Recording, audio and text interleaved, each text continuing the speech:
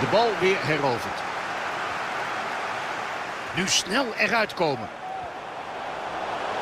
Voorzet in de 16.